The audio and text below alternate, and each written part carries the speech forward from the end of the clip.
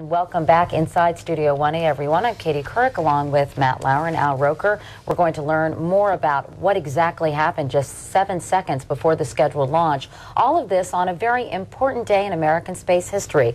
30 years ago today, man first set foot on the moon. That man, of course, was Neil Armstrong. It's one small step for man, one giant leap for mankind. Those immortal words, of course, coming 30 years ago today. Meanwhile, Matt, now, do you remember where you were when you were watching this historic event unfold? I was home in the living room with my family. Yeah? Vividly. I was at Camp Kennybrook in Monticello, New York, gathered with all the other campers in the cafeteria. I remember it like it was yesterday. I know, isn't that wild? Yeah. I was in Julie Newman's basement. I remember what a hot day it was, but how cold it was in Julie's basement and how exciting it was to yeah. see all that transpire. It was incredible. Anyway, Neil Armstrong and Buzz Aldrin, of course, spent two hours and 15 minutes on the moon that day. We're going to look back on that mission, Apollo 11, as well. Matt? A man on the moon by the end of the 1960s. That was a goal set by President Kennedy. He never saw it happen. His life, of course, cut short by an assassin's bullet. This is happening on the anniversary of another milestone in space. 30 years ago today, Neil Armstrong became the first human to walk on the moon. It's easy to forget just how amazing that was. And as we've just discovered, not everyone was so sure it would work. Here's NBC's Bob Kur. The world caught up in the excitement and fascination of the moment. A four-legged spaceship about to touch down on the moon. Okay, engine stop. For most of us, apprehension took a back seat to the prospect of the first men on the moon. Tranquility Base here. The Eagle has landed. But for astronaut Michael Collins, who orbited the moon while his two colleagues landed in a spacecraft known as the LEM, there was a nagging fear. My concerns uh, were not within the command module, but simply that something might go wrong with the uh, LEM, with the lunar module, and these two guys might get stuck on the surface of the moon. That's one small step for man, one giant leap for mankind. And it now turns out that two days before this historic moonwalk, as Apollo 11 rocketed its way through space, there also was concern at the White House, where a young speechwriter got a scary phone call. I got a call from Frank Borman, who was an astronaut uh, at NASA, uh, with a kind of disturbing note. And he said, um, Is there an alternative uh, posture uh, ready for the president uh, in the event of a mishap? Mishap? The plan was for President Nixon to congratulate the moonwalkers, as he did. Hello, Neil and Buzz. I'm talking to you by telephone from the Oval Room at the White House. But what would have happened if the worst fears of some astronauts were realized? If this lunar module failed, trapping Neil Armstrong and Buzz Aldrin on the moon, facing certain death, what would President Nixon have said and done then?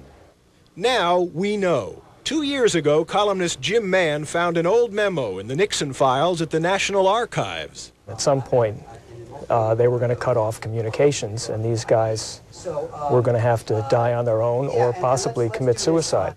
But the moon disaster speech never had to be delivered. President Nixon never had to call the widows to be.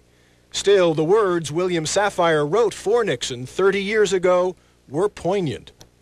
Others will follow and surely find their way home.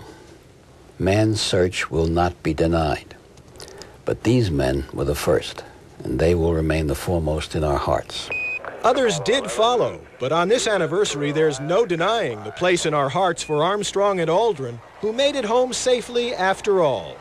For today, Bob Kur, NBC News, Washington. It is 741, and coming up later, the Americans who are still holding reservations to the moon. But up next, very much as we've noted this morning, man first walked on the moon 30 years ago today. Many of us who are old enough will never forget where we were the day man landed on the moon. But for some folks, watching wasn't enough. They wanted to be there and take their own giant leap for mankind.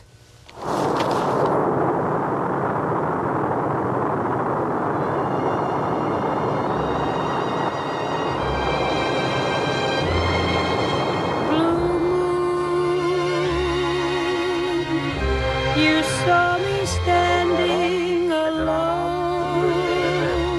Okay, engine stop. AJ at a descent. July 20th, 1969, the whole world held its breath. Tranquility Base here. The Eagle has landed. But some people didn't just watch Neil Armstrong on TV, they wanted to follow in his footsteps. And I already had a ticket. I already had a ticket on the first commercial flight, so my excitement, you know, was doubled by that prospect. That's right, some people really had seats. All the big airlines wanted to capitalize on moon mania, but Pan Am, the airline that pioneered international air travel, took it one step further. Sometime in the 21st century, your children's children may very well fly Pan Am to the moon. Pan Am didn't wait for the 21st century to start taking reservations. Fly me to the moon, let me play among the stars. A year before Armstrong stepped onto the moon, Pan Am kicked off an ad campaign. Folks could write an application letter and receive a free numbered reservation card that guaranteed them a seat when the moon route was launched. The mail just was bundles and bundles every day that I did nothing but answer mail around the clock and made sure that these letters were honored and that they received their waitlist card.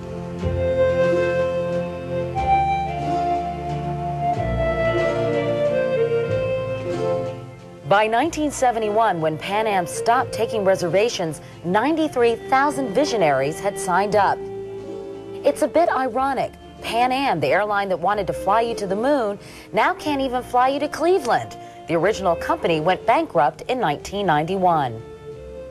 I never thought I would see this letter again. And A lot of folks were true believers, and when we showed a few of them the letters they wrote 30 years ago, they were still dreaming. when I got my card, I, I, I was not really happy with the number because it was pretty high. Uh, and I tried to calculate, let's see, at a normal airline size, how many trips would there be? Uh, frankly, there might not be any pebbles to pick up off the moon by the time I got there. In 1969, I was an agent at the William Morris Agency. I had no fear. You know, I was a young killer agent at the William Morris Agency. They taught us not to be afraid, just to plunge in. In my letter, I even wrote to them that I wanted to go first class.